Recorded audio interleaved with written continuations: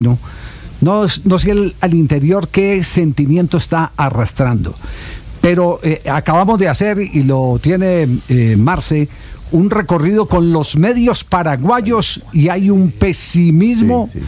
total, por no decir absoluto, total. Total, son muy pocos eh, los que eh, en cualquier eh, momento se acuerdan de que esto es fútbol y que cualquier cosa puede ocurrir en un partido. Sí, lo que pasa, Javier, es que eh, la, la actualidad de uno y otro eh, realmente inclina a tener esa postura bastante pesimista, que también he escuchado un par de, de- de comentarios de los desde Paraguay.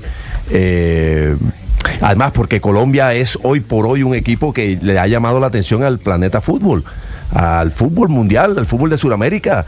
Eh, es decir, un equipo que, que está jugando como está jugando, que además refuerza ese buen juego con 22, 23 fechas sin perder. 23, sí. Claro, inmediatamente todo el, todo el agita, moviliza una cantidad de cosas en el mundo del fútbol que lo llevan a pensar que va a estar en los primeros lugares. Y claro, el primer rival que le toca es Paraguay. Paraguay además que anda en un periodo disperso, no, no, no conecta realmente, no toma buenas decisiones, No, no, hay no. grandes figuras, cambia de técnico. Obviamente que el panorama de uno y de otro son totalmente distintos, casi que en la antípoda. Sí. Y entonces, eh, obviamente que el pesimismo eh, empieza a surgir. Pero, pero, el- pero es un pesimismo eh, eh, eh, avanzado, Eh, profundo, Y profundo. le, y le digo, yo he buscado toda esta semana reacciones diferentes de la prensa y yo no he encontrado ni el primero que sea medio positivo. ¿Qué encontró, a ver, prensa- ¿qué los que están acá tampoco. ¿Qué Y encontró bueno, hoy en el día, en el día de hoy? ya tampoco. Mire, por ejemplo, obviamente siguen muy negativos, muy pesimistas, hablan todo el tiempo de Colombia, que los van a bailar. Mejor dicho, ya desde antes, en la previa, eh, arrancaron perdiendo, yo creo que por ahí 3-0.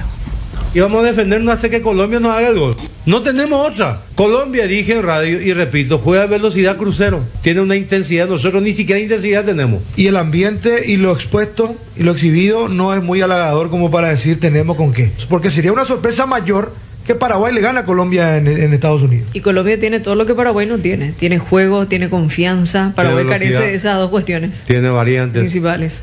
eh, riqueza individual, tiene juego Colectiva. colectivo. Tiene todo. que No, juega. Javier, no, definitivamente. No, está que no se presenten. ¿cierto? Usted sabe la anécdota de- del maracanazo. Sí. Los directivos de Uruguay llegaron a la charla, al, al comedor de los... Le dije, bueno, muchachos, tranquilos, si perdemos 4 a 0, tranquilos, vamos a hacer una fiesta, vamos a estar felices, ¿verdad? Afortunadamente para Uruguay existían estos clases de jugadores, Varela y todos ellos, y dijeron, no señor, aquí no vamos y que vamos a perder. Pero el directivo más optimista llegaba a decirle, hey, tranquilo, si perdemos 4 a 0, vamos, estamos felices. Parece ser que la- los, paraguayos están más o menos así. No, imagínense. Si mire, te- no, si- si- el único, el único, yo creo que el único, el único optimista eh, soy este es, yo, este es que- a- Anastasio Bebedilla, este es. Bebedilla.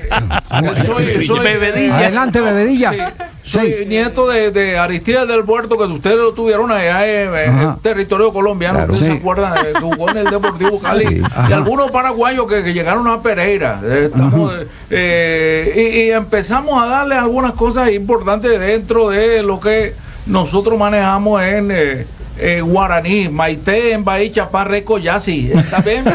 Eh, eh, puramente aveña. Bueno, pero, pero resuma, eh, ¿está optimista o está pesimista, Bebedilla?